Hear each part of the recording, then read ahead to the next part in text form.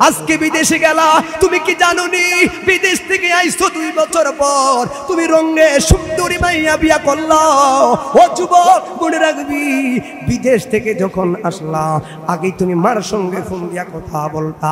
ছেলের আয়া আনন্দে বিয়া করাইলো। আবার বিয়া কইয়া তিন, চার মাস থাকার পর আবার বিদেশে চলে গেছে। এখন আর মারে ফোন দেয় না রে। এখন বউরে ফোন দেয় রে। হায় হায়, কিছু কিছু স্ত্রীরা আছে। ও মহিলারা শুইনারা বাকি জিনিস অনেক সময় কয় করি মেরে বউ।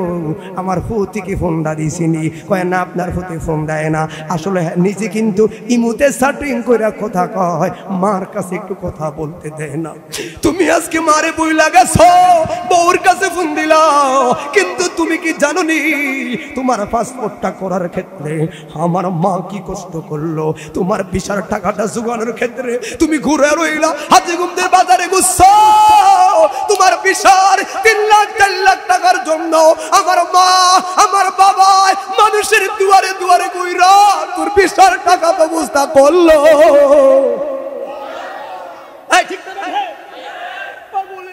আমার বাবা গুললো আমি দেখলাম আমার বড় ভাই যখন বিদেশে যায়, তখন দেখলাম ওই সময়ে দুই লক্ষ টাকা জোগাড় করতে গিয়া জাগাও বেচছে, আমাদের একটা বড় গরু ছিল তাও বেচছে। পাগলের মতো দৌড়াইয়া দৌড়াইয়া টাকার ব্যবস্থা করল। আজকে রঙে তুমি বিদেশ গেলা, শুধু তাই নি তাই নি। তুমি যখন ভিসা কমপ্লিট, অমুক তারিখে তোমার ফ্লাইট আগের দিন তুমি মার কাছে এলো পাঁচটা হাজার টাকা নিছো। কয়, কি যাইয়াম তো সইলেই তো যাইয়াম বন্ধু বান্ধব একটু আনন্দ কইরা লই পাঁচ হাজার টাকা যে নিছো, কোথায় থেকে নিছো? হিসাব করে দেখ শুনি। রাতের বেলায় আমার মা বাবা যুক্তি করল ফুলাডায় চইলা যাইব, গামছা কিনো, লুঙ্গি কিনো, কাপড় সুফরগুলা কিনা রেডি কইরা রাখল। আর মা দুঃখী নিডায় বনে বনে আড়ালে আড়ালে সন্তানের মায়ায় শুধু চোখের পানি ফালায়া ফালায়া এই কান্দ বাইরে, যখন তোমারে বিদায় দে, যখন তুমি চইলা যাও, তুমি তো রঙে রঙে বিদেশে যাও। তুমি কি জানো নি তোমার ওই বিদেশে যাওয়ার পেছনে মায় এক মহাসাগর দুঃখ লইয়া তোর বিদেশের বাড়িতে যাওয়ার বিদায় দিল। আরে যেই বালিশ দুই বছরে নষ্ট হয় না, ছয় মাস পর পর বালিশ পাল্টায়, কি বন্ধু জানুনি? রাতের পর রাত। রাতের পর রাত সন্তান কি খায়? সন্তান বিদেশের বাড়িতে কি করল? পাগলের মতো মায় হয়ে যায়। বাবাইলে কি? এমনি আমার শরীর ভালো না। আসলে ফুতের লাইগা যে মার কলিজা জ্বলে, এটা লোক সমাজে বলে না। আর ওই ফুতেরা মার মনে কষ্ট দেয়। বিদেশে তাই কাপড়ে কান্দে টাকা ফাটায়। মা বাবার খবর ঠিক মতো রাখে না। মনে রাখবি, কামা, তা দিল তুদান যা করবি রে তোর জন্য, ওই ফলটা অপেক্ষা করল। আমরা মা বাবার খেদমত করতে চাই কি চাই না। এই জন্য ভাই আমি জানি অনেকে আমাকে আজ ভালো না না লাগতে পারে। ভালো লাগো না, লাইগো না, শুইনো না। একটা ছেলে যদি মারে ভালোবাসার নজরি, মা কুয়া ডাক দেব। মক্কায় যায় পাঁচ লাখ টাকা খরচ করলি। ওই পাঁচ লাখ টাকার খরচে তোর হজ করলি হজ কবুল হইতো পারে, না হইতো পারে? আল্লাহর কসম, মার চেহারার দিকে একটা বার মায়ার নজর তাকাইলে সঙ্গে সঙ্গে একটা কবুল হজের সওয়াব হাত তুলা বলি, আল্লাহ গায়ের জোরে বললে কথা, নবীর কাছে লাগে ব্যথা। চিরদিন তুই থাকবি না ভুবনে নিরঞ্জনে, দিবে তোরে দুজকে রাগুনে। ঠিক না বেঠে? তোমার শিশুর ভরে জৈবন এলো কত জনায় বয় পাইল, কেহ নাহি পারে তোমার শোনে রে। শিশুর পরে জৈবন এলো কত জনায় বয় পাইল, কেহ নাহি পারে তোমার শোনে। কিন্তু চল্লিশ বছর হইলে রে পার কলকব যায় তরিবে জঙ্কার কথা বলে ঠিক নেই? চল্লিশ বছর হইলে পার কলকব যায় তরিবে জঙ্কার জম গরিবে পিছনে পিছনে নিরঞ্জনে দিবে তোরে দোজকে রাগনে মুরব্বী বাবারা খেয়াল করবেন, তোমার বয়স যখন পড়বে বাটি, সঙ্গীরে তোর বাঁশের লাঠি, কিছু ও কিছু কম শুনি বা কানে। ওরে বয়স যখন পড়বে বাটি, সঙ্গীরে তোর বাঁশের লাঠি, কিছু ও কিছু কম শুনি বা কানে। সেদিন বল কমিবে হাতে পায় পেশারেতে মাথা ঘুরায়, ছোট অক্ষর দেখবা না নয়নে নিরঞ্জনে। দিবে তোরে দোজকে রাগুনে তাই এমন একদিন আসবে চলে বকবার সাবি নয়ন জলে। নবীর কথা পড়বে সেই দিন মনে। ঠিক না দেখি এই জন্য ভাই, অনুরোধ করা যাই গো। আমিও তুচ্ছ সরে কথা বলতে পারব না। আসার পথে মতিন স্যারের বাসার সামনে আসলাম। বিশাল বিল্ডিং পইরা রইল। দুইবারের ঠিক নি? কিন্তু কোথায় কোথায়? আইসো, আমি বললাম, দেখ, এক সময়ের তাজা নেতা, বলিষ্ঠ যার কথায় হাতি গুণ সারাস্তি থর থর করে চলতো। বিল্ডিং বিল্ডিং এর জায়গায় পড়ে রইল। কিন্তু নাই রে নাই, আমারও তো একদিন বাড়ি পড়ে থাকবে। আমার থাকার কোনো সুযোগ এই জন্য ভাই, আসলাম ববে। কি দিয়ে গেলাম সোনার পৃথিবীকে? একটা কথা মনে রাখবেন, আমার আশার পেছনে আমার সবচাইতে বড় মেহনত আমার জনম দুঃখিনী মা, কথা বলুন ঠিক না বিঠি এই জন্য আল্লাহ বলেন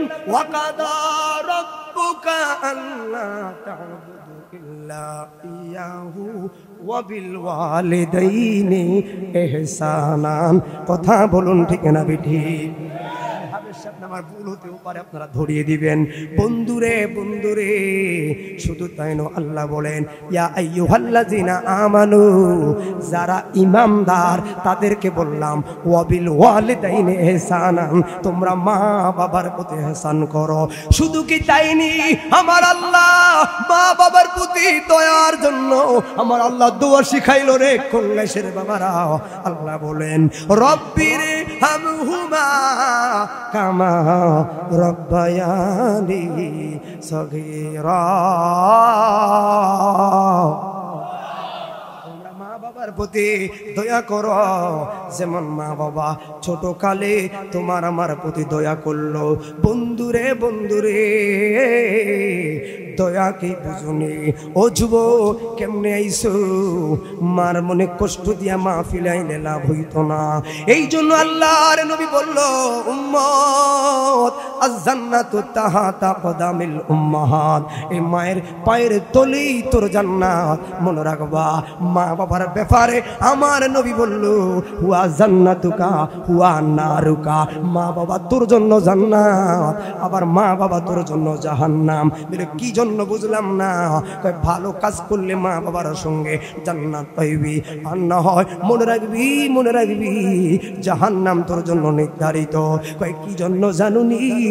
গুরুত্ব কি রে যুবকের দল? আল্লাহর তফসিরগুলো পাইছি রে। আল্লাহর নবী মুসা কালিমুল্লাহ, রসুল বটে। কিন্তু লাইসেন্স পাইলো আমার নবীর রসুল্লাহর বলার পরে। ঠিক না বিধি জনের বেশি নবীরা রসুল ছিল, কিন্তু রসুল প্রকাশিত হয় না। রসুল প্রকাশিত হইল আমার নবী আসার পরে। বন্ধুরি, বন্ধুরে, আমি মা বাবার সেবার জন্য কথা টুকুন বলে যাই। ও যুবক, অনুরোধ কইরা যাই রে। হাজিগঞ্জ থেকে যখন বাদ বাড়িতে আইবি, আগে বাড়িতে ফোন দিবা, মা মা মা, কি লাগবো কি লাগবো? যখন মা দেখবি কোনো সম্মা সন্তানের সাধ্যের বাইরে চায় না, কারণ নিঃস্বার্থভাবে মা তোমার জন্য করে গেল। আজকে বিদেশে গেলা, তুমি কি জানো বিদেশ থেকে আইছো দুই বছর পর, তুমি রঙ্গে সুন্দরী বিয়া করলা ও যুবক, মনে রাখবি, বিদেশ থেকে যখন আসলা আগে তুমি মার সঙ্গে ফোন দিয়া কথা বলতা। ছেলের আয়া আনন্দে বিয়া করাইলো। আবার বিয়া কইয়া তিন, চার মাস থাকার পর আবার বিদেশে চলে গেছে। এখন আর মারে ফোন দেয় না রে। এখন বউরে ফোন দেয় রে। হায় হায়, কিছু কিছু স্ত্রীরা আছে। ও মহিলারা সৈন্যরা বাকি জিনিস অনেক সময় কয় করি মেরে বউ। আমার ফুতিকে ফোনটা দিছিনি? কয় না, আপনার ফুতে ফোন দেয় না। আসলে নিজে কিন্তু ইমুতে সাটিং করে কথা কয়, মার কাছে একটু কথা বলতে দেয় না। তুমি আজকে মারে বই লাগাছ বউর কাছে ফোন দিলাও কিন্তু তুমি কি জানো নি তোমার পাসপোর্টটা করার ক্ষেত্রে আমার মা কি কষ্ট করল? তোমার বিশাল টাকাটা জোগানোর ক্ষেত্রে তুমি ঘুরে রইলা, হাতে ঘুমতে বাজারে গুচ্ছ তোমার বিশাল তিন লাখ, চার লাখ টাকার জন্য আমার মা, আমার বাবা মানুষের দুয়ারে দুয়ারে গুইরা তোর বিশাল টাকা ব্যবস্থা করল।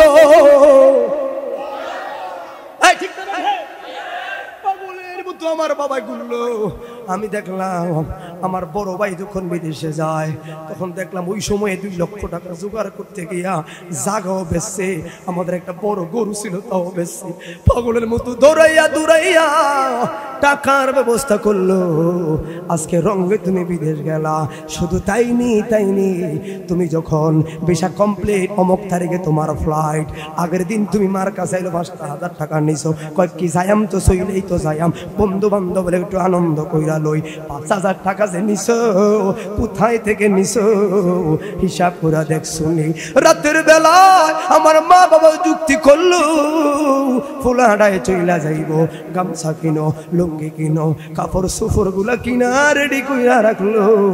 আর মা দুঃখী নিডায় বনে বনে আড়ালে আড়ালে সন্তানের মায়ায় শুধু চোখের পানি ফালায়া ফালায়া এই কান্দ বাইরে, যখন তোমার বিদায় দে, যখন তুমি চইলা যাও, তুমি তো রঙ্গে রঙ্গে বিদেশে যাও। তুমি কি জানো নি তোমার ওই বিদেশে যাওয়ার পেছনে মায় এক মহাসাগর দুঃখ লইয়া তোর বিদেশের বাড়িতে যাওয়ার বিদায় দিল।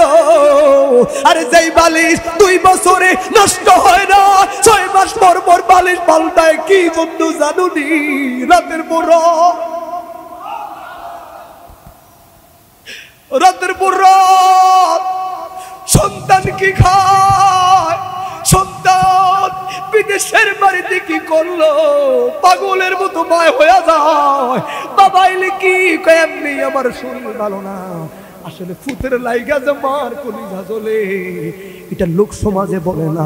আর ওই ফুতেরা মার মনে কষ্ট দেয়। বিদেশে তাই কাপড়ে কান্দে টাকা ফাটায়। মা বাবার খবর ঠিক মতো রাখে না। মনে রাখবি, কামা তা দিল তুদান যা করবি রে তোর জন্য, ওই ফলটা অপেক্ষা করল। আমরা মা বাবার খেদমত করতে চাই কি চাই না। এই জন্য ভাই আমি জানি অনেকে আমাকে আজ ভালো না লাগতে পারে। ভালো লাইগো না লাইগো না শুইনো না। একটা ছেলে যদি মারে ভালোবাসার নজরি, মা ডাক দেব মক্কায় যায় পাঁচ লাখ টাকা খরচ করলি, ওই পাঁচ লাখ টাকার খরচে তোর হজ করলি। হজ কবুল হইতো পারে, না হইতো পারে। আল্লাহর কসম, মার চেহারার দিকে একটা বার মায়ার নজর তাকাইলে, সঙ্গে সঙ্গে একটা কবুল হজের সওয়াব হাত তুলা বলি, আল্লাহ মারে ভুইলা গেলি? শুধু একবার, ভালোবাসার নজর একবার মার চেহারার দিকে তাকা, আল্লাহ কয়, সঙ্গে সঙ্গে কবুল হজের সোয়া কথা বলে ঠিক না বেঠি? এই জন্য দুঃখের সাথী কিন্তু মা। দাঁত থাকিতে দাঁতের মূল্য দিলি না, মন দিলি না। মা বাবা তোর কত আপন, বুঝিলি না রে, বুঝলি না। দাঁত থাকিতে দাঁতের মূল্য দিলি না রে, দিলি না। ঠিক না, বেঠে?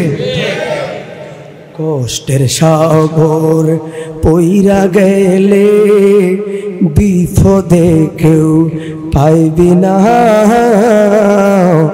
চোখ মিলিয়া খুইজা দেখি পাশে আমার পাগল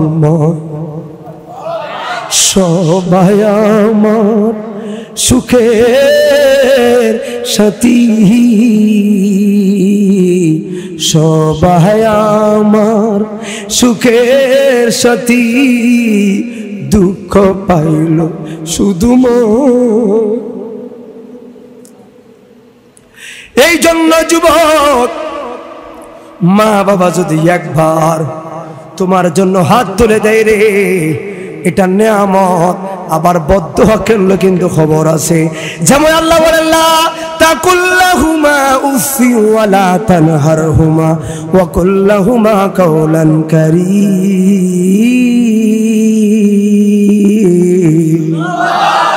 তোমার আমার কথা কথাবার্তার কারণে মা বাবা যদি একটু উহু কয়া শব্দ করে, আল্লাহ কয়, তোর দুনিয়াও বাদ, তোর আখেরা বাদ। এই জন্য বন্ধুরে বন্ধুরে, মা বাবা হলো একটা ঘরের জন্য ছায়া, একটা ঘরের জন্য নিয়ামত। যেই ফাগুলটার মা নাই রে! আমার মা আছে, আমার বাবা আছে। এই যে আমি বাবার হাত ধরলাম যে পাগলটার বাবা নাই, হাতটা ধরলেই তার কলিজায় সাপ করে লাগে রে আমার। আব্বা যদি থাকতো বাফুত মিল্লাসকে মাহফিল হইতাম। বাবা তো কবরে কত ঝামেলায় পইরা রইছে। একটা শুক্রবার আসে, বার কবরের সামনে মার কবরের সামনে যাওয়ার তুমি সময় পাও না। যুব অনুরোধ করা যাই রে। সুমান নামাজটা পইরা শেষ কইরা দৌড়াইয়া বাড়িতে না যাইবি। দোকানদারি ঝামেলা থাকতেই পারে। অনুরোধ কইরা যাই। পাঁচটা মিনিটের জন্য হলে আগে মা বাবার কবরের সামনে যাইবি। শুক্রবারে জুমান নামাজ আইলে মা বাবা কবর থেকে সন্তানের আশা করে, সন্তান রে, আয় বাড়ি গাড়ি জোড়াইয়া দিছি, বাবা, কি লই আইছি? একটাই শুধু আবদার, আয় আমার কবরের সামনে আয়। একবার সুরা ফাতিহা, তিনবার সুরা এক ক্লাস করে মন লাগে একটু দোয়া করুস না না ফাতর হয়ে গেছি। নামাজটা পয়রা দটিয়া বাড়িতে বাদ কইয়া দোকানে যায় ভয় যে চায়া রইছে কবরে বাবাই যে চায়া রইছে কবরে আপনার ভাইরা সময় পায় না। মনে রাখবি, তোর সন্তানটা তোর ফাত্তাও দিত না। ঠিক না বেঠি মনে অনুরোধ করে যাই রে। বাবার সন্তুষ্টি, আল্লাহর সন্তুষ্টি। সবে বরাত রাত গেছে। অনেক ছেলেরা ঢাকা ঢাকার শহরে যায়, দেখবা আজিমপুরের গরুস্থানে কান্নার ঢোল শোনা যায়। কিন্তু কান্দিস কেন? কজোর সবে বরাত রাত, সবে বরাত রাত। কীভাবে রমজান মাস আইলে সবচাইতে বেশি মা বাবার কথা মনে পড়ে। ইত্তর খাইতে গেলে মা নয়। ইফতার খাইতে গেলে বাবা নাই। আমার বাপটা এবারে ঘুমের থেকে উঠে আইনা আইনা মানে আব্বা দুয়া স্যারে খাওয়াইতো আমার বাবা হাজিগঞ্জের বাজার থেকে কলা আর দুধ না রাখতো। বাবা রমজান মাসে বেশি মা বাবার কথা সন্তানের মনে পড়ে। এই জন্য যুব স্বার্থ ছাড়া যদি তোমার প্রতি কেউ লক্ষ্য রাখে, সেটা হলো আমার মা, আমার বাবা। জবান খুলে বলুন, ঠিক না বেঠি? বন্ধুরে বন্ধুরে, আমার কথা বলার পর মা বাবা যাদের নাই, শুধু পাঁচটা লোক আমার সঙ্গে ওয়াদা দিবি। হুজুর যাইয়াই মা বাবা সকারাতে পারলাম না। অন্তত সকালবেলা হইল, মার কবর জিয়ারত করব, বাবার কবর জিয়ারত করব।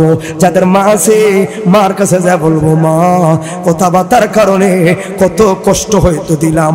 জানি গো মা, সুখের বন্ধু পাওয়া যায়, দুঃখের সাথী আসলো তোমরা সারা কেউ নাই। ঠিক না বন্ধুরে আমার, আল্লাহর পয়গাম্বর, মুসা পয়গাম্বর। নবীদের ব্যাপারে আপনার আমার আকিদা হলো, নবীরা আন্নবী মাসুমুন, নবীরা হলো নিষ্পাপ। নবীরা হলো বিনা হিসাবে জান্নাতি। শুধু জান্নাতি নয়, জান্নাতুল ফেরদাউসে নবীরা থাকবে। বন্ধুরে ওই মুসা পয়গাম্বর আল্লাহর কাছে আরজি করল, আল্লাহ, আমার ব্যাপারে সিদ্ধান্ত কি?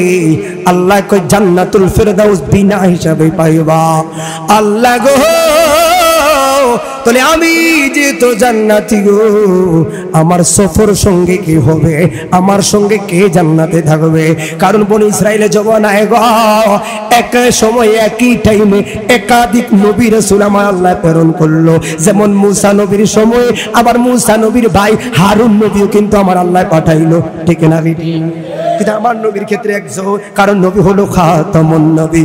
ঠিক না বিধি ওই যে এই জন্য নবী যে খাতামুন নবী বর্তমান গোলাম মোহাম্মদ কাদিয়ানি সম্প্রদায় যায় কাদিয়ানি সম্প্রদায় কাফের সন্দেহ যারা শেষ নবী মানে না, এরাই হলো কাফের। কাদিয়ানিদের ইমান নাই, আমরা কাদিয়ানিদেরকে মুসলমান বলতে রাজি না। হাত তুলে বলুন, ঠিক না কারণ তারা আমার নবীকে শেষ নবী মানে না। গোলাম মোহাম্মদ কাদিয়ানি বেড়ে শেষ নবী। এই কথা বলে, কিন্তু আল্লাহর কোরআন কয় নবী হলো শেষ নবী। আর নবী কহিল যদি আমার পরে কেউ নবী হইতো, এটা কিন্তু ওমরে হইতো। কিন্তু নবী তো আর হইতো না। ওমার ভাইয়ারা, এই গোলাম মোহাম্মদ কাদিয়ানি নিজের নবী বলছে, জীবনের শেষ মুহূর্তে টাট্টি খোলায় ফইলা সেই মরছে। কথা বলো ঠিক না বেঠে এরা আবার মানব বন্ধন করে সমাজে সমাজে ওই পঞ্চগড়ে এরা বিশাল সমাবেশ করতে চাইছিল। বন্ধ করছে কি লেগা? আমার একটা মুসলমান ভাই রাজপথে জীবন দিয়েছে, কিন্তু বেঈমানরা সমাবেশ করতে পারে নাই। এটা মুসলমানদের একটা সফলতা। কথা বলে ঠিক না দেখে? এ ভাই কাদিয়ানি আজকে যেভাবে হুঙ্কার দিয়েছে, আমি মনে করি এই কাদিয়ানি সম্প্রদায় মূল হলো ওই এরা ইহুদি খ্রিস্টানদের দালাল, এজেন্ট মুসলমানদেরকে বারোটা বাঁচানোর সুকৌশল চালাচ্ছে।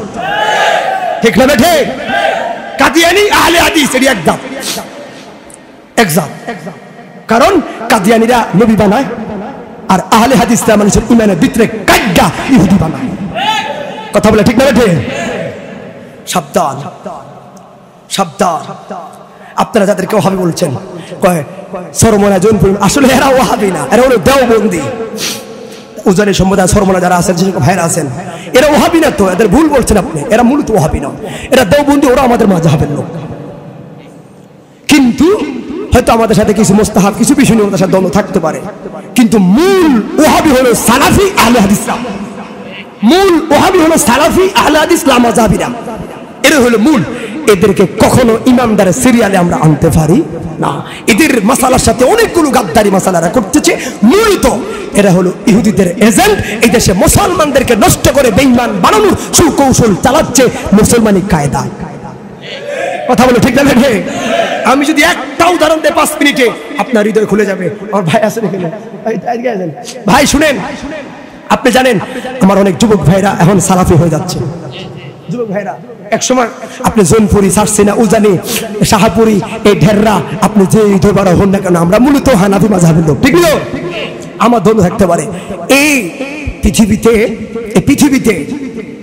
আজকে দুইশো কোটি মুসলমান। আমাকে আল জাবের নামের একজন লোক ছিলেন, আজমির শরীফের খাদেবের নাতির নাতি। তা উনি আমাকে ভালোবেসে আমাকে বলে, তোমাকে আমার ভালো লাগে, একটা কাজ করো। বাংলাদেশে আসো না, খাজা গরিব নামাজ আওলাদরা। তো আমি একটা নাত রসুল গেছিলাম, আরে সে হকে হে মসনা দে, রিফাতে রসুল্লাহ কি মানে আলা হজরতের শান গেছিলাম তুমি খুশি হয়ে বলছো, শোন ছোট্ট বই কপি করে নিয়ে দিস এটা তোকে দেওয়া যাবে না, বইটা তুই কপি করে আন। আমি সঙ্গে সঙ্গে বইটা কপি করে আনলাম। দেখলাম বইটা আজ থেকে সাড়ে দেড়শো বছর উপরে বইটার বয়স। আল্লাহ না? বাইরে এটা ফইরে তো অবাক হয়ে গেলাম। এই ভারত উপমহাদেশে ইস- মুসলমানিত্ব আনলে কেনবো? আর মুসলমানের বারোটা কেমনে বাজাচ্ছে? সুকৌশল করে সুন্দর লেখা। আহা, ভাইর আমার এই পৃথিবীতে দুইশো কোটি মুসলমানের মধ্যে ইতিহাস জানি না কেন আমরা যে মুসলমান আপনার নামে হয়েছেন কামে না কারণ আমার দাদা দাদা দাদা মুসলমান, আমি ওই বংশসূত্রে মুসলমান, কিন্তু হাকিকত এখন আমি লড়াইতে পারি নাই। কথা বলো, ঠিক না এই জন্য কোরআনের মায় আমার কাছে আসে না। এই জন্য ইসলামের মায় আসে না, এই জন্য আমার দাড়ির মায় আমার আসে না, টুপির মায় আমার আসে না। কারণ আমি বংশসূত্রে আসছি। কথা বলো, ঠিক না এই পৃথিবীতে দুইশো কোটি মুসলমানের মধ্যে পঞ্চাশ কোটি মুসলমান একাই একজন লোকের অবদানে হয়েছে। একাই ওই লোকটার অবদান যদি ওই দিন না থাকতো এই পৃথিবীতে বর্তমান মুসলমান থাকতো দেড়শো কোটি। জানেন ওই লোকটার নাম কি? বলতে পারবেন কেউ? না। ওই লোকটার নামে হলো সুলতান সালাউদ্দিন আয়ুবী সুলতান সালাউদ্দিন আয়ুবী কি ইহুদিরা যাদেরকে যাকে গাদ্দার বলে? আজকে যে ইসরায়েল আজকে শুনেন, এ, কথাটা শুনবে রাখেন, কত ইম্পর্টেন্ট কথা, কথার ফাঁকে যে বলছি বাইদ্য হিসাব করবেন, ফোলা কি হয়ে গেছে কথাটা। এই ইসরায়েল যেটা আছে বর্তমান, এই ইসরায়েল কিন্তু এক সময় সুলতান সালাউদ্দিনকে কট দিয়ে তারা থাকতো। আজকে হেরা রাজত্ব করছে, মুসলমানদের একমাত্র অবহেলার কারণে। সুলতান সালাউদ্দিন দীর্ঘ বারো তেরো বছর যুদ্ধ করে জেরুজালেমটা পুরোটা মুসলমানদের শাসনে এনেছে। একক ভাবে চেষ্টা করার পর বারোটা বছর যুদ্ধ করে জেরুজালেম, ওই ইসরায়েল সবটা মুসলমান স্বাধীন করা হয়েছে। এখন সবাই বলল, আজকে বাইতুল মুকাদ্দাস জেরুজালেম মুসলমানদের অধীনে, তবে আপনি এটাকে মুসলিম স্বাধীন রাষ্ট্র ঘোষণা দেন না কেন? কি? মুসলিম স্বাধীন রাষ্ট্র ঘোষণা কেন দেন না? সুলতান সালাউদ্দিন আই বলেছেন, না, এখনও স্বাধীন হয় নাই। কেন কেন? এই দেশে কিছু গাদ্দার আছে। মুনাফিক আছে। কি? আমি সুলতান সালাউদ্দিন আইবি ইসলামিক বিষয় আলোচনা করি। এগুলো ইহুদিদের কানে যায় কেন বাংলাদেশে মুসলমানদের সংস্কৃতির কথা হয়। ইসরায়েলে এগুলোর অপপ্রচার হয়ে বাড়ায় কেমনে? কে দেয় এই কথা? খালি ও আজে শুনলেন জীবনে? কারা বাংলাদেশে বসে বসে মুসলমানদের বারোটা বাজাচ্ছে? আপনি ইস্তেমা দিয়েছেন, ইস্তেমার ভিতরে বাটার স্পন্সর কেন আসবে? কিছু রহস্য কি বুঝেন না? ভাইয়ের আমার। তখন উনি ওনার ফিলিস্তিনির মোট কি, সময় বেশি যাচ্ছে নাকি? হ্যাঁ? কেন সময় বেশি যাচ্ছে? খেয়াল করেন। বাবা রে, আর বাবা তো ইয়েস ভাইয়ের আমার, আমি আসলে আপনাদেরকে নিজের মানুষ মনে মনে কথাগুলো বলছি। অন্য কোথায়গুলো কথা বলতে পারতাম আমার অনেক বাধা চলে আসতো। শুনেন, তখন উনি এই ওনার শহরের পঞ্চাশটা মেধাবী মেধাবী আলমরা কিন্তু এগুলো শুনে কেন প্রয়োজন আমার থেকে লেখাগুলো নিয়ে নেবেন। পঞ্চাশটা ছেলেকে ইসরায়েলে পাঠাইছে, ইহুদিদের পাঠাইছে, ইহুদিদের কিতাব মুখস্থ করার জন্য। ইহুদি আলেম বানানোর জন্য পাঠাইছে কি? মুসলমানের ছেলেদেরকে। এখন এই মুসলমানের ছেলেরা দুই বছর সাধনা করে ইহুদি পাক্কা আলেম হয়ে ওরা এই দেশে আসছে। পৃথিবী, ইউরোপ কান্ট্রিতে সর্বপ্রথম মুসলমানের কামিল মাদ্রাসা, লন্ডনের মাটির নিচে করছে কারা? মুসলমানরা না, ইহুদিরা। অবাক হয়ে গেছি। মুসলমানের মাদ্রাসা বানাইলো ইহুদিরা। কারণ ইহুদিরা তাদের ছেলেদেরকে মুসলমানের বুখারি পড়াইছে, কোরআন পড়াইছে, মুখস্থ করাই আলেম বানায়া সমাজে ছেড়ে দিয়েছে। কারণ ইহুদি খ্রিস্টানদের একটাই লক্ষ্য ছিল মুসলমান, এমন একটা জাতি, এটি বুলেট বয় করে না। বাইতুল মুকাদ্দাসের সামনে। তোরা আইস না আইস না, আইলে মারমু। আর মুরব্বীরা তো দূরের কথা। ছোট ছোট বাচ্চারা, ওই ইসরায়েলি বাচ্চাদের, ইসরায়েলে কুখ্যাত গুন্ডাদের রাইফেল টান দিয়া বুকের সামনে আল্লাহু আকবারের ধ্বনি দেওয়ার নামই হলো মুসলমান। হাত তুলে বলো, ঠিক না বেটি? এরা মরে না, এরা ভয় পায় না। কারণ এদের কলিজা খালিদ বিন ওয়ালিদ রক্ত। এদের কলিজায় উমর বিন খাত্তাবের ভালোবাসা লুকিয়ে আছে। কথা অধপতন নিজের অস্তিত্ব ভুলে গেছি। আমি উমরের শাসনের কথা ভুলে গেছি। আমি যে কার ওয়ারিস ছিলাম, সেটা ভুলে যাওয়ার কারণে আজকে আমার তাদেরকে কর দেওয়া লাগছে। অথচ এই গ্রেট ব্রিটেন ফ্রান্স উমর ফারুকের পায়ের তলে এসে পড়ে কথা বলে ঠিক যাবে ঠিক? আমি কেন বলছি? আপনি রঙে একটা টুপি মাথা দিয়েছেন, কিন্তু বুঝেন না আপনার টুপির রহস্য কি? আপনার পাঞ্জাবির রহস্য কি? আপনার দাড়ি মাথা দিয়েছেন আমি মুসলমান, কিন্তু আসলে ওই যে উৎকুল ফিসিল কাফা, আপনি পরিপূর্ণতা পান নাই, আপনি বংশসূত্র হয়েছেন বুঝতে শুনতে হন। এই কারণে আপনার কাছে নামাজ পড়তে ভালো লাগে না। আপনার কাছে মসজিদ ভালো লাগে না। যদি সত্যি বুঝতেন যে মুসলমানের হ্যাকমত কি, তাহলে প্রাণ ভরে নামাজ পড়তেন। কথা বলে ঠিক না তখন ওই ইহুদিরা তাদের ছেলেদেরকে মুসলমানের আলেম বানায়া সমাজে ছেড়ে দিল। কারণ তাদের উদ্দেশ্য কি? এদিন বুলেট মারিয়া বোম মারি মারা যায় না। কৌশল কৌশল করতে হবে একটা, এগো, কোরআন থেকে মশালা বার করে এগোরে হেরেস লাগাইতে তখন কৌশলে তারা আয়াত তৈরি করল, আনা বাসার আয়াত বার করলা তুশরিক বিল্লাহ। কিছু আয়াত, হাদিস বের করে এদেরকে ছেড়ে দিল। রাজপথে এখন কেউ কয় খারায়া ফরো কেউ কয় ভয়া ফরো কেউ কয় মাটি কেউ কয় নূর কেউ কয় হাজত জানে না কেউ কয় গায়েব জানে না। টুবিওয়ালারা টুবিওয়ালারা মারামারি করি ইহুদিরা কয় বাহ বাহ বাহ বালাই তো বালাই তো আর তো গুলি মারার লাগে না এত রাত্রে তো লাগছে। ওরা হাত তালে দেয় ইসরায়েলে বৈশা। কথা কি ঠিক কেন? ভাই আজ থেকে পঞ্চাশ বছর, বিশ বছর আগে এই এই জায়গার লোক কিন্তু আমরা দেখি নাই এখন আইসে কারণ কি? এটাও তাদের চক্রান্ত। আমি আমার এলাকা থেকে শুধু আমরা আপনার এলাকার মানুষ। আপনি সারসিনা, জৈনপুরি, সরমনাই, শাহাপুরি, কালিয়াপুরি, আপনি ধেররা যে কোনো হন না কেন, আপনি কিন্তু একজন হানাবি মাঝহাবের লোক। শুধু আপনার ভাই, আপনারা যেন এই আকিদাটা নষ্ট না করে, সালাফিরা বড় মারাত্মক। এই জন্য ভাই, ওয়াজ করে লাভ কি? যদি আমার সন্তান ওই অন্য আকিদা চলে যায়? আমার এখানে রাজ্যের প্ল্যাটফর্মে মেয়র আছেন, যারাই এখানে মেয়র কমিশনার ওয়ার্ড মেয়র যারা আছেন, আমার এই কংগ্রেস টোটাগঞ্জ সাইডে সবগুলো কিন্তু সুনিত মতের লোক। আমিগুলো ঠিক না বেঠে মসজিদ মাদ্রাসা তারা ভালোবাসে। আমি যতবার এসে দেখলাম, ওরা কিন্তু থাকতো। ভাই, এই পঞ্চাশ বছর আগে তারা আবার মিটিং লাগাইছে। কি জানেননি রে মুসলমান করে তো করলাম। দিতে ভাগ করলাম অনেক। কিন্তু একটা জায়গায় তো এখনও মুসলমানরা এক আছে রে। জায়গাটা কি? মাঝাবের জায়গা বাইঙ্গাতে মাঝাবটা আবার। বাইঙ্গা দিলে মুসলমান ছত্র ছিন্ন হয়ে যাইব। তখন ওই কালা এডিন আব্দুল রাজা ইউসুফ সোহেদেরকে কিন্না কিন্না নিয়া আবার ট্রেনিং দেওয়া শুরু করছে। এই ট্রেনিং নিয়ে আইয়া আজ থেকে বিশ ত্রিশ বছর আগে এখন আবার সেই সালাফি প্রচার করতেছে। এখন তো মাঝাব কাজ্ঞা মুসলমান বিশৃঙ্খলা লাগাই দিছে। কথা বলে ঠিক নেই? সুলতান সালাউদ্দিন আইবি তখন বিশাল কনফারেন্স ডাক দিল। ওই সময় আঠারোশো সনের কথা বলছি।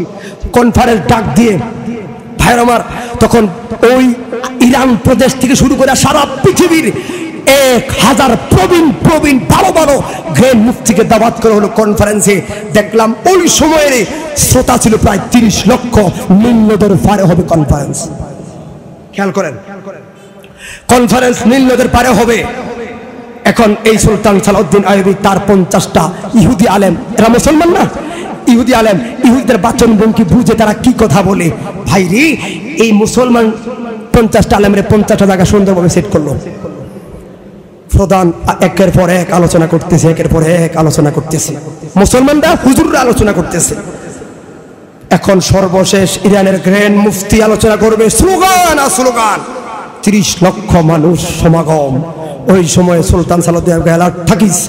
হায় হায়, ওই গ্র্যান্ড মুফতি বড় হুজুরে। কথা বলার ক্ষেত্রে এমন এক কথা কইয়া লইছে মাঝখান দিয়া, পঞ্চাশটা ছেলের রাডারে ধরা খাইল। সঙ্গে সঙ্গে মাহফিল বন্ধ, হুজুরকে অ্যারেস্ট করা হল। অ্যারেস্ট করে ব্যাকগ্রাউন্ড জেনে দেখে সবচাইতে বড় যিনি গ্র্যান্ড মুফতি ইনি হলো মূলত ইহুদি। এবার বলেন, টুপি দেখলে কি মুসলমান? এই মুসলমানের নাম দিয়ে সাইনবোর্ডদার ইহুদি, আছে না নাই? সর্বনাশ চিরুনি অভিযান দিয়ে ওই দিন সুলতান সালাউদ্দিন আইবি সাতশো থেকে সাড়ে সাতশো মুসলমান সাইনবোর্ডদারি আলেম, তারা ইহুদি নীল নদের পারে পাশির কাস্টে ঝুলে একটা ঘোড়া নিয়ে দিয়ে জেরুজালেমের সামনে এসে কালিমার পতাকা লাগায় বলছে, আজ থেকে জেরুজালেম মুসলমানের জন্য স্বাধীন হলো। হাত তুলে বলে, আল্লাহ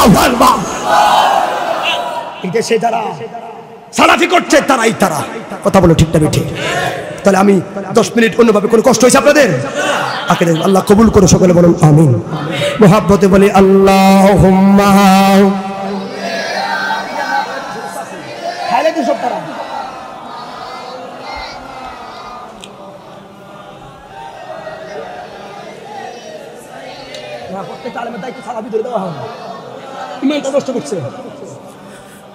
ভাইরা আমার, মনে মনে কষ্ট নিয়েছিল তারা? হুজুর, আপনার সাবজেক্টের অন্য গেছেন কেন? কারণ আছে।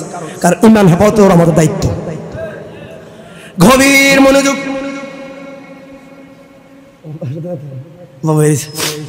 ও বাইরি হজরতে মুসা পয়গম্বর, মনে আছে কথাটা? আল্লাহর কাছে বলল মৌলা আমি জান্নাতি আমার সফর সঙ্গী কে আল্লাহ বলে, ও পয়গম্বর, তোমার চপর সঙ্গী হবে একটা কসাই কুস্তের দোকানদার। সুবহানাল্লাহ। মুসা নবী অবাক হয়ে আল্লাহ, আমি ভাবছি আমার চপর সঙ্গী হবে জান্নাতে আমার ভাই হারুন, কারণ হারুন একজন নবী। কিন্তু হারুন না হইয়া একটা গোস্তের দোকানদার কোষাই কেমনে আমার সফর সঙ্গী হবে, জান্নাতে আমার সাথী হবে? আল্লাহ কও ইন্নি মালা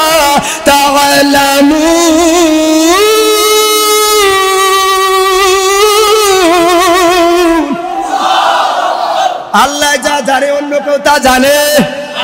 ও বন্ধুরে আল্লাহ বলে পয়গম্বর আমার সিদ্ধান্তই হলো চূড়ান্ত সিদ্ধান্ত। তোমার জান্নাতের সাথী হবে একটা কষাই মুসা আল্লাহ গো, ও মাওলা, তাহলে এই গোস্তের দোকানদার কষাইদার ঠিকানাটা দাও। এরা কি এই রকম কাম করে যে কামের কারণে আমার সঙ্গে জান্নাত, একজন পয়গাম্বরের সঙ্গে জান্নাত? এটা তো চারটে কাল ব্যাপার নয়। আল্লাহ বলে, মুসা নবী, এখন আইসো লাইনে, চিনে নাও, তোমার জান্নাতের সাথে কি তুমি বুঝে নাও? হায় হায়, আল্লাহ সকল কারিমকে ঠিকানা বইলা দিল। বন্ধুরে বন্ধুরে, সকাল ভোর বেলায় যাইয়া ওই গুস্তর দোকানদারের সামনে আগেই যাইয়া হাজির হইয়া রইল। মোসানবের উদ্দেশ্য হইল, কি এমন কাম এই ছেলেটায় করে? কারণ কোন এই রকম কামের কারণে ছেলেটা আমার সঙ্গে জান্নাত পাবে? নিশ্চয়ই তার এমন কি একটা কর্ম আছে, এটা জানলেই না, আমার উম্মত করে ওই পরামর্শ দেওয়া সামনে আগায়াম। হ্যাঁ তার কৌশল কিন্তু আমার ঠিক। ভাই রে ওই মুসা নবী যেই মাত্র গেল, ছেলেটা দোকানে আইল ফজরে নামাজের পর গো, এই ছেলেটা একটা গরু আনলো, গরুটা জবাই করল, গরুটার সুন্দরভাবে খালাইয়া, ওই গরুর দামি কলিজা, দামি কলিজার কিছু অংশ, দামি সিনার কিছু অংশ, আলাদা একটা ব্যাগের মধ্যে এই ছেলেটা দোকানদারি প্রায় শেষ খালি তামাশা চায়। কারণ এই ছেলে তো আর না, ইনি হলো শুধু দেখে বুঝলো, একজন ভালো মাপের আলেম দাঁড়াইলো, একজন সুন্দর আলেম দাঁড়াইলো। এ তো আর পয়গাম্বর চিনে নাই রে। বন্ধুরে বন্ধুরে আমার, রাত্র যখন হইয়া গেছে গো মুসা নবী নিজেই বইলা ফেলল। আল্লাহর বন্দা ও দোকানদার বাইরে, আমি একজন পথিক মুসাফির। বাড়ি আমার অনেক দূরে, আমার যাওয়ার তো এখন কোনো রাস্তা নাই, কৌশল নাই। একটা রাত্র যদি তোমার বাড়িতে থাকতে দিতা গো, মুসা নবীর উদ্দেশ্য হইল, সারা জীবন দিনের কর্মফল তো চাইলাম, বাড়িতে এই ফলায় কি করে? আমার একটু সাওয়ার দরকার আছে। কি এমন কর্মফল এই ছেলেটার আছে যে আমার সঙ্গে জান্নাতে থাকব? বন্ধুরে বন্ধুরে আমার এই ছেলেটা যেই মাত্র মুসা পয়গম্বর বলল, ও যুবক যুবক রে ও বোন যুবক মুসাফির মানুষ আমি একটা রাত্র তোমার বাড়িতে থাকতে দিবানি। যুবকে বলল, আলহামদুলিল্লাহ, একজন মেহমান আমার সঙ্গে, সফর সঙ্গে হলে এটা আমার জন্য বড় নেয়ামতের ব্যাপার। আমি কবুল করলাম গো, কবুল কইরা দোকানটা গোছাইল, দোকান সব কমপ্লিট গোছাইয়া ওই গোস্তের ব্যাগটা যে রাখল,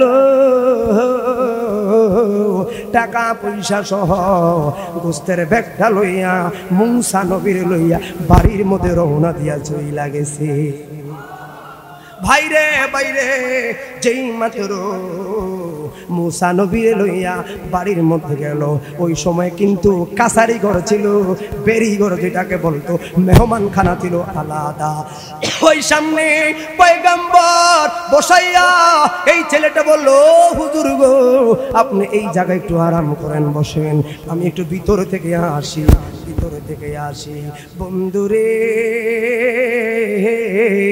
ও বাবারা, মুসা নবীরে, ওই মেহমান খানায় বসাইয়া ছেলেটা গোস্তের ব্যাগটা হাতে লইয়া ভিতরের মধ্যে চইলা গেল। এবার যেই মাত্র গেল, আধা ঘণ্টা, এক ঘণ্টা হইয়া গেছে। এই ছেলের কোনো খবরই নাই। মুসা নবী রাগ হইয়া গেছে গো। আর আল্লাহরে কইল মালি কেমন একটা ব্যাকল ভোলা। আমার সঙ্গে বলে জান্নাত থাকব। ব্যাকল নার কিতা কইতা এটার বাড়িতে মেহমান আইলো। একটা গ্লাস পানি তো আমার দিয়ে আপ্যায়ন করল না। এক দেড় ঘণ্টা, দুই ঘণ্টার কাছাকাছি হইয়া গেছে গো। এই ছেলেটা তো আমার খবর নিল না। আমি কি খাইলাম, না খাইলাম, একটু খোঁজ খবর তো নিল না। এভাবে যাইতে যাইতে তিন ঘণ্টার মতো হইয়া গেছে। তিন ঘণ্টার মতো হইয়া গেছে গো।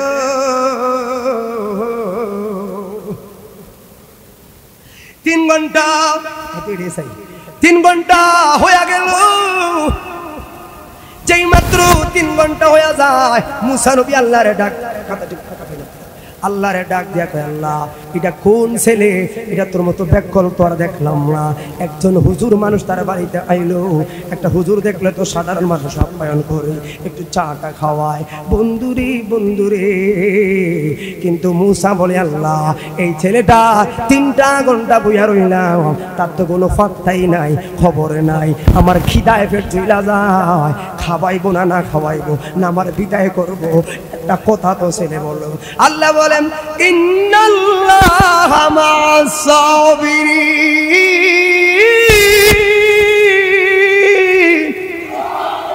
ধৈর্য ধরো সঙ্গে আছে কে? কথা বলেন কে? ও বন্ধুরি, আল্লাহ মুসা ধৈর্য ধর কারণ আল্লাহ হলো, ইন্নাহু আলিমুন বিজাতিস সুদূর। আমার আল্লাহ হলো অন্তর জানি রে কে কি চিন্তা করো, আমার আল্লাহ জানে কি জানে না। বন্ধুরে বন্ধুরে পয়গম্বর, এই চিন্তা করো, আল্লাহ ধারণ করো। তিন ঘণ্টা শেষে গো, এই ছেলেটা। কিছু রুটি গুস্ত লইয়া মুসা নবীর সামনে আইলো। রাগি মানে তোর রুটি গুল্লি মারি, রাগ। কয় হুজুর ধমক কয় তোর ধমক দের কি থাকো তুই অনাইছো তিন ঘণ্টা পরে। তোমার রুটি খাইতাম না। আগে বলো, তুমি তিনটা ঘণ্টা আমারে ফালাইয়া কই তুমি গেলা? পাশের রুমে তো গেলা, তোমার সামনে দিয়ে বের হলে তো আমার সামনে দিয়ে বের হতা। তুমি রুমে গেছো, কি বিয়া শাদি করলাম হে যুবক, তিনটা ঘণ্টা কইছিলি, তিনটা ঘণ্টা পর্যন্ত আমি এই জায়গায় তোমার অপেক্ষায় ছিলাম। আর তুমি তিনটা ঘণ্টা পরে এখন রুটি আর গোস্ত লই আইলা। কথাটা শোনার সঙ্গে সঙ্গে গো, ওই যুবক চোখের পানি ছেড়া কান্না শুরু করল। কই হুজুর, কিছু কিছু দুঃখ আছে বলা যায় না। হুজুর গো, ও আমার, আজ থেকেই অনেক বছর আগে দশ বারো বছর আগে আমার বাবা দুনিয়া থেকে চলে গেল। আমার সম্বল বলতে আমার একটা মাজুর মা আমার ঘরের মধ্যে আছে। আমার মায় চলতে পারে না, হাঁটতে পারে না, কোথাও বলতে পারে না। বাবার ইন্তেকালের পর আমার মা প্যারালাইজ হইয়া আমার মা খাট মুখী হইয়া গেছে। খাট থেকে নামতে পারে না। পচরা পায়খানা মায় খাটের মধ্যেই করে। হুজুর সকালবেলা যখন দোকানের কাছে যায়াম আগে দৌড়াইয়া আমার কাছে যাই। যাইয়া দেখি সারাটা রাত আমার মা পায়খানা পচরাবে আমার মা কাপড়গুলো নষ্ট কইরা আমি ফুতের দিকে তাকায় রইছে। মা আমার বড় অসহায়, মা, আমার আমি গরম পানি কইরা মারে গোসল করায়া নতুন কাপড় পরায়া মারে খাবাইয়া আবার বিছানায় রাইখা দোকানে যাই গো।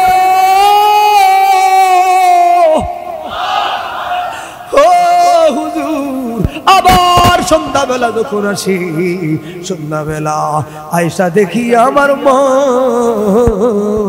সব কাপড় সুপড় নষ্ট করে ফেলল। হায়, খাট্টার মধ্যে পায়খানা প্রস্রাব কইরা এলোমেলো কইরা দিল। আমি আইলে আমার মা আমার দিকে তাকায়, একটা মুস্কি হাসি দেয় গো।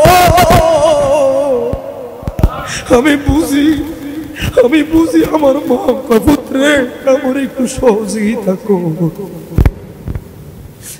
ভাই, দৌড়ে আইছি, মার কাছে গেছি।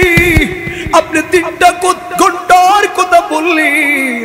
ওই তিন ঘণ্টা কি করলাম বুজুর্গ ওই যে দেখলেন গোস্তের ব্যাগ। লইয়া ভিতরে গেলাম গোস্তের ব্যাগ ডারাই খা সঙ্গে সঙ্গে গরম পানি বসাইলাম। ওই গরম পানি বসাইয়া আমার মারে গোসল করাইছি।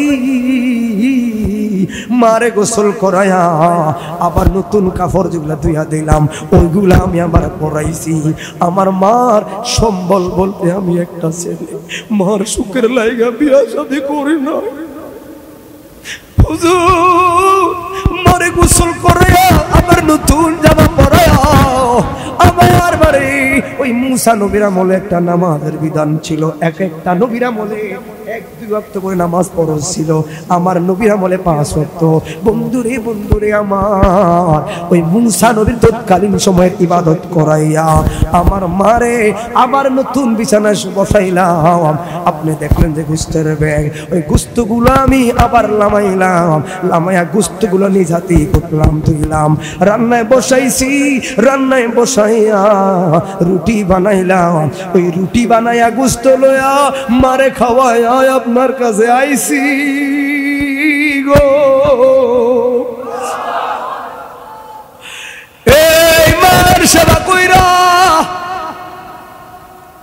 রুটি গুস্ত আয়োজন কইরা মারে খাওয়াইয়া, আপনার কাছে আসো আসার অতব্দি আমার তিনটা ঘণ্টা লেগে গেল। মুসা নবী এখনও পরিচয় দেয় না। বলল, মুসা নবীর চোখটা লাল হয়ে কান্নায় ভেসে যাচ্ছে। মুসা নবী তো এলেমি মানুষ বুইদা যুবক রে, যুবক, একটা সত্য ক কইতাম? কই তুই? যখন তোমার মার মুখে রুটি দাও, তোমার মায়ে কি কিছু বলেনি? ও হুজুর, ওই দেয়ার থেকে দশ বছর আগে, যেই দিন থেকে রুটি দিছি ওই এক বছর থেকে এখন পর্যন্ত আমার মায়ের শুধু একটাই কথা বলে, যখন মার মুখে উঠি দেই, কয়, কি কয়? তাড়াতাড়ি ক আমার মায়ে শুধু কয়।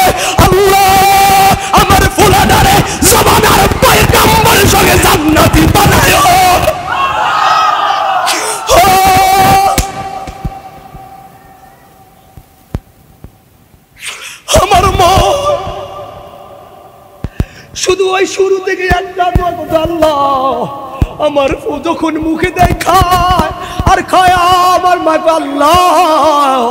আমার সন্তানটারে জবানার পয়গাম্বরের সঙ্গে জান্নাতি বানায়ো আনার পয়গাম্বরের সঙ্গে জান্নাতি বানায়ো। আর কি কিছু কয়নি কয় না। মুসা নবী হাউমা পুরা কন্যা কয়, যুবক রে হয় আমার বুকে। আমার চিনুনি, আমি আর কেউ নয় রে। জবানার পয়গাম্বর, বুঝাইছি রে। ও যুব আল্লাহর কাছে বললাম, আল্লাহ আমি জান্নাতি। আমার সফর সঙ্গীকে কয়েকটা গুস্তের দোকানদার। কি নবী আছে আমার ভাই হারুনে। আমার ভাই নবী পর্যন্ত আমার সঙ্গে জান্নাতি হবে না। এই ছেলে এমন কি গুণ আছে? ওই ছেলেটা আমার সঙ্গে জান্নাত। হাইসা দেখি, তোর মারে যে তুই রুটি খাওয়াইতি। আর তোর মা ওই আট বছর আগে আল্লাহর কাছে যে কই যে, আল্লাহ, আমার বুলারের পয়গাম্বরের সঙ্গে জান্নাতি দিও আল্লাহ দোয়া কবুল করছে রে আমি মুসা। তুই আমার জান্নাতের সাথী বন্ধু আমার বুকে আয়। কি বুঝাইলাম? কংগ্রেসের বাবারা, মা যদি একবার দোয়া করে রে, এই মুহূর্তে আমার আল্লাহ তোরে সুলতানুল আউলিয়া বানাইতে পারে কি পারে না? বাবার সেবা করতে কারা কারা রাজি আছি? হাত তুলে দেখাও। আল্লাহ কবুল করে বলুন, আমিন। আমি যেই দি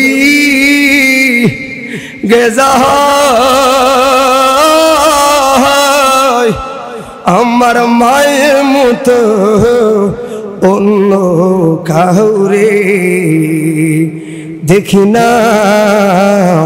মায়ের মতো না। সন্তান ল্যাংরা কানা আতর হইলে মা দুয়া মুইসা টান দিয়ালো কোলে। কো কত দেখলাম ল্যাংলা কানা মাথা মোটা। পঙ্গু চলতে পারে না। অন্য মানুষ দেখলে থুতু মেলা। মায় কিন্তু টাই না বকেরা বাবা রুজি করে এনে ল্যাংলা কানাডারে খাওয়ায়। কারণ কিনলে বাবা খাওয়াইছে, এই তো ফুলাই তো বড় হয়ে তোমার খাওয়াইতে পারতো না। এটা তো মাজু। সন্তান রে সন্তান রে। ওই ছেলেরা মার মনে কষ্ট দেয়। ওই ছেলেরা বাবার মনে কষ্ট দেয়। যুবক! শিক্ষিত জাতির আমার বৃদ্ধাশ্রমে রাখার সিদ্ধান্ত নেয় রে। আমার হাজিগঞ্জের ঘটনা আছে। আমার ভাই, জানব কে দিছে, আমি নাম বলতে রাজি না। তুমি প্রভাবশালী হতে পারো জুনে সিদ্দিকি ফাত্তা দিয়া কথা বলে না। হাজিগুন ছাড়তে পারব, কিন্তু হক কথা ছাড়তে পারব না। কথা বলুন, ঠিক না ঠিক আমার ওয়াজ শুনলে আমার হাজিগুন থেকে বের করে দেওয়ার ক্ষমতা তোমার আছে। আল্লাহর কসম মা বাবার পক্ষে কথা বইলাই যাইমো ঠিক না বেঠি এ যখন তুমি বৃদ্ধাশ্রমে বের করে দাও, আমার মোবাইলে একটা ভিডিও দেখলাম। বন্ধুরে বন্ধুরে, তখন ওই ঢাকার শহরে হাজিগঞ্জের বড় বড় বিল্ডিং। মায় কি কই জানুনি ফুতরে ফুত। বৃদ্ধাশ্রমে বউয়ের কথায় বাগাইলে, বৃদ্ধাশ্রমে দিলে। মনে রাখবি রে, তোর দশতলা বিল্ডিং। তোর দশতলার বিল্ডিং এত বড় বড় রুম। প্রত্যেকটা রুমে বন্ধু বান্ধব গেস্ট থাকব, কত মেহমান থাকব, কত লোকেরা থাকব, তোমরা থাকবা এত বড় দশতলা বিল্ডিং এ আমি মা বাবা দুইটা বইরা বুড়িরে জাগা দিলি না আর কেমনে রে তোর দশটা মাঠ, ছোট্ট একটা ফেডের মধ্যে রাখছি রে। আপনারা দেখেন ইউটিউবে মিরপুরের বৃদ্ধাশ্রম থেকে ভিডিওটা যখন টিভির সাংবাদিক বলল, তখন মায় ছেলেটার নামটা বলে না, কারণ সরকারি গ্রাজুয়েট চাকরিওয়ালা মা পদ্মা দিয়া কইল, ফুতের অসম্মান হইব মায় বৃদ্ধাশ্রমে কান্দে খানার আশায়, কিন্তু ফুতের মান যাবে এমন কথা আমার মায় কয় না। ফুতের কথা কয় না। ওই শিক্ষিত মহিলা শুধু একটা কথা বলল, ফুতের বড় বিল্ডিং এ আমার জায়গা হলো না। কিন্তু রে, কেমনে দশটা মাস? এই ছোট একটা ফেডে আমার ফুতের আমি রাখছি। তুমি জানো একটা মানুষ ডিগ্রি ফর্টি ফোর পার্সেন্ট ব্যথা যদি মানুষের অন্তরে শরীরে হয় ফর্টি ফোর পার্সেন্ট ডিগ্রি ব্যথা বলে কাকে জানো? ডাক্তারকে জিগাইবা একটা মানুষের দেহে একই সঙ্গে যদি দেড়শো, দুইশো হারের মধ্যে, একই সঙ্গে যদি তিরিশ থেকে চল্লিশটা হার ভেঙে ফেলা হয়, তো ওই লোকটার মৃত্যুর ঝুঁকি থাকে পঁচানব্বই ভাগ। মৃত্যুর ঝুঁকি থাকে পঁচানব্বই ভাগ। একই সঙ্গে যদি তিরিশটা হার ভেঙে ফেলা হয়, ওই লোকটার মৃত্যুর সংখ্যা হয়ে যায়। পঁচানব্বই ভাগ বাসে না। এটা হলো ছচল্লিশ ডিগ্রি ব্যথার কথা বলছি। আর যেদিন রে মায় তোমারে আমার দুনিয়াতে আনছে, ওই যে সকাল বেলায় মার প্রসব ব্যথা উঠছে রে। ওই বেদনাটা ডিগ্রি রয় না রয় না। বিজ্ঞানের ভাষায় ওই ব্যথাটা হইল সাতান্ন থেকে আটান্ন ডিগ্রি ব্যথা রে। ব্যথা লই আমার মা এখন না রে সিজা এখন না রে সিজার বাড়িতে আমার আমার বাবা আমার পাঁচ বছর পরে আমার বাবা আছে একটা মেয়ে দিল, আল্লাহ, এখন দেখি আধুনিক জমানায় বাড়িতে ছিলাম। আমার মেয়েটাকে দুধ খাওয়ায় যখন বিবিরা, বিবি বন্ধুরে, কেন বললাম, উদাহরণটা কেন দিলাম? দশটা, বারোটা, দুইটা ছয়টায় দিয়া দিয়া ওইটা দুই ঘণ্টা ছোট ছোট বাচ্চা আমার মেয়েকে একদিন রাতে মেয়েটারে খুলে লইয়া চোখের পানি ফেলা করলাম বিবি রে বিবি রে, ফোনটা দিয়ে একটু বাইক কথা কইলাম কই, কিসের কারণে কথা আছে? কয়, দাঁড়া তখন মুরব্বীরা ফোন ধরতো না ঘুমে রইছে। কই যার জ্বালা সেই নিজে জ্বলে রে। অন্য লোকে বুঝব কি? বনের আগুন সবাই দেখে রে। কিন্তু মনের আগুন তোর কি? শেষ করতাম? হে ভাই! তখন বললাম, আমার একটাই উদ্দেশ্য, মা ছিল, বাবা ছিল। আর বহুত ওয়াজ বহুত করতে পারলাম মা বাবা চিনলে এটাই বড় জিনিস, কথা বলো ঠিক না ঠিক মা বাবার সালাম দে শ্রদ্ধা কর, এলাকাটা সুন্দর হয়ে যাবে। হে ভাই, তখন বললাম, বিবির এই জন্য বললাম ফোনে এখন আধুনিক জমানায় কত মোবাইল ফোন ছিল। এলন, এলান দিয়া দিয়া দিয়া, দশটা, বারোটা, দুইটা চারটায় দুই ঘণ্টা ফোর ফোর আমার মেয়েকে দুধ খাওয়াইলা। আর আমরা তিরিশটা বছর আগে ওই সময় মোবাইল আসছিল না। কম্বল ছিল না। এখন বাচ্চা ঠান্ডা লাগে রুমের ভিতরে হিটার লাগাইয়া দিস। কত কম্বল বাক্সার ভিতরে বাচ্চা ঢুকে রাখে আর পুরো রোগের পর রোগ। কি আমগো সময় বাবা একজন রুজি ছয়টা ভাই বোন কেমনে বাঁচাইলো? কেমনে বাঁচাইলো? সেই কছুয়ায় মাথায় কইরা আমার বাবা। এই সেই কছুয়ায় পেঁয়াজের ব্যবসা করতো। আপনাদের হাজে গুজাইসা পেঁয়াজের ব্যবসা কইরা শুক্রবার সোমবারে ব্যবসা কইরা রাতে বাড়িতে যাইতে সকাল হয়ে যাইতো। ছোট ভাই বোনেরা, আব্বা কলা আনিত, কলার জন্য বসে থাকতাম। আবার শনিবার, মঙ্গলবারে কচু হয়ে যাইতো। আইনা এই খাবারগুলো আমরা খাইতাম। কিন্তু বন্ধুরে এখন আমার বাচ্চারে এত আধুনিক দিয়ে রাখতে পারি না। অসুখ আর অসুখ। ওই সময় কইলাম বিবিরে দুই ঘণ্টা পড়ব। বাচ্চারে দুধ খাওয়াইলি। আর আমার আমার ওই সময় আমার ছোট কালে তিরিশ বছর আগে, ওই সময় কোনো অ্যালার্ম ছিল না মোবাইল ছিল না, কিছুই ছিল না। আমার মা, আমার বাবা কেমনে না জানি আমগুড়ি বসাইছে গো। কম্বল শুনলাম বস্তার ছালার মধ্যে পেঁচা পেঁচা বয় বোনদেরকে রাখতো। এই জন্য বলি ভাই রে ভাই মার মনে কষ্ট দিও না, বাবার মনে কষ্ট দিও না। মা বাবার সম্পদ। মা বাবা কোনো সন্তানের খারাপ চায় না। ধমক দিলি কারে? বুড়া মানুষ হয়তো তার কথা কাজ কারবারে ভুল করল।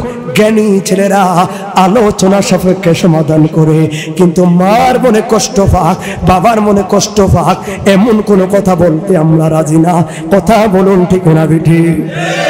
আমি বলি চারটা বাড়ির মধ্যে আমাদের একটা বাড়িতে বাড়ি। আমার বাড়িতে যদি এক চুল পরিমাণ ভাগ আমারে না দেয়, আমি তারপরেও আমার বাবা আমার শুক্রিয়া আমি শেষ করতে পারব না। বাড়ির জায়গাটো সম্পত্তি লয়ে জমেলা হইলে মার গালি ঢাকা ফুট হেডারে জিতাইয়া দিছ। কিরে তুমি টাকার সম্পত্তি চিন্তা করল? আমার যে আমার মায় দুই নাই টানছে, এটাই তো বড় শুক্রিয়া জায়গা লাগতো না গো মা। আমার দোয়া করলে এর চাইতে ডাবল বিল্ডিং আমি বানাইতে পারি। আমি চাই দিকে আমার মায়ের মতো অন্য কাউরে দেখি না। মায়ের মতো না। পুত্র সন্তান, যার বিদেশে গেলে মায়ের চোখের জলে বালিশ ভিজে রে। ঠিক না বেঠে? ল্যাংহারে সন্তানের বি মারি হইলে ও মায়ের বুকটা জানি কেমন করে রে। বলে আমায়, আল্লাহ লয়া যাও গো সন্তান রে। নিও না মায়ের মতো না। আমি যেই দিকে যা আমার মায়ের মতো অন্য কাহুরে দেখি না। মায়ের মতো না। পাঁচটা লোক হাত তুলে বলবা, হুজুর যাইয়াই বাবার বাবা নাই, মা নাই, কিংবা মা আছে বাবা নাই। মা বাবার কবর জিয়ারতের অন্তত শুক্রবার একদিন হলেও আমরা মা বাবার যে কবর জিয়ারত করব, কারা কারা রাজি আছে? হাত তুলো একটু। বেশি লাগবে না, অল্প কদিন কইলে আমার চলবো। আল্লাহ কবুল করে বলুন, আমিন। ভাইর আমার কথা শেষ। আমি বারবার শুধু একটাই জিনিস বুঝাতে চাইলাম, মার দোয়া, এটা কারেন্টের চাইতে বেশি কাজে লাগে। বোর্ড দোয়া কাজে লাগে। তো এই জন্য আমি বারবার করি যে আমি এলাকার ছেলে, আপনাদের পাশে আমার থাকি আমি। তো আমি শুধু একটাই আপনাদের কাছে আর্জি করব, যাদের মা নাই, যাদের বাবা নেই, মা বাবার জন্য দোয়া করবেন। রমজান মাস আসে, একটা হুজুর নিয়ে জেরত করাইবেন, এক খতম কোরআন শরীফ পড়াইবেন। টাকাতে কি করবেন? মার জন্য আলেমদের কাছে গিয়ে দোয়া চাইবেন। রমজান মাস সামনে আছে না নাই?